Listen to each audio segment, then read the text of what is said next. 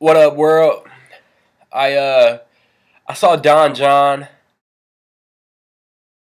I saw Don Jon like three days ago. But uh I've been fighting a cold and losing. That's why my review is so tardy. I don't know if I've ever done a review this late after a movie's release.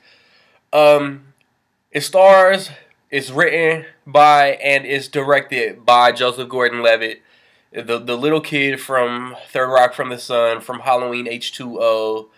Um, I mean, I knew I knew that that Joseph Gordon-Levitt was a legit actor when I saw 50-50. 50-50 is a dope ass dramatic sad fucking movie if you haven't seen it. Then he, he pops up in Inception, he pops up in The Dark Knight Rises. Uh Looper, Looper is so dope. Um but this is his first movie he's directed and it takes place in New Jersey.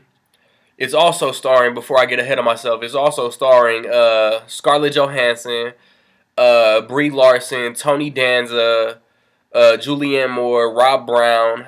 Um, he played Ernie Davis in The Express, uh, another under underrated actor. Um, but his name is John. He is called Don Jon for his ability to be able to go to the club and without fail always pull the baddest bitch in the room. But then he is also ad- addicted. Basically, he's addicted to watching porn, uh, pornographic movies. Um, there was one website. Uh, there, there's one website in this movie that it always shows him going to that's probably gonna get a lot of traffic since this movie's come out. His his thing is physical intercourse isn't as good as is getting off through masturbation. Like like masturbation is his thing, and um, maybe I don't I forget exactly what he said. Like maybe the condom, like having having a bust off into the condom, like is what threw him off. Like he he says he loses himself in porn and can't get lost in to a real chick, you know, like in his bed. Um, and then he meets Scarlett Johansson, and um, I mean, they both like come off like they're head over heels for each other, and then at the same time, he meets Julianne Moore in this class he's taking, and he um. I mean, he just he has relationships with both of these chicks, both different relationships, both both good and important relationships to the movie. Um, and then man, Tony Danza, he damn near stole the show as as, as uh, Joseph Gordon-Levitt's dad.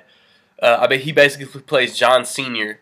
Um, I mean, I, I haven't seen much Tony Danza, man. He, uh, you know what I'm saying, who's the boss and shit. There was one scene where they were arguing where it looked like they was about to fight. That that was good. Uh, all the performances were spot on. Joseph Gordon-Levitt, Jersey Italian accent was mad thick, and there was times when you really couldn't understand what he's saying. And uh, Scarlett Johansson, she she like really put in work to get her little Jersey girl accent popping too, like fucking chewing gum and shit. And her character, man, like like she was a cool ass character. She was a cool ass chick. And then there's like this one conversation they had, and like her whole character like changed. Like like man, like are these her true motherfucking colors?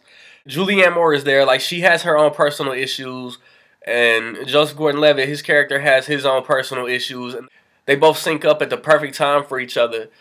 Um, and like I said, my man Rob Brown, man, I hope he gets uh, more roles for this. I feel like Joseph Gordon-Levitt and Rob Brown, they was both in The Dark Knight Rises. So he was like, man, I'm about to direct this movie, Rob. Why don't you get on with me? So like he got a little little part for that, which was dope as fuck. Um, their other friend, like their third friend, he was he was kind of annoying. Man, the story was cool. It's it's only a 90 minute movie, but at times it felt like it was dragging a little bit. Um there were there was the story there was some story that like you wanted more of. Like the acting was good, the directing was good. The story was cool, but I mean real talk, I mean it, it was kind of like a porn, like like like like a porn for cinema, you feel me? Like there was some story, there's a lot of ass, there's a lot of titties. Um I mean, I, I think more than anything in this movie, it shows John beating his beating his meat, man. Um, so uh, with that shit being said, I will say Don Jon is dope. I, can't, I can't like really say that I'm gonna buy this movie though. I mean, I've seen it. I don't know if I'll ever need to see it again.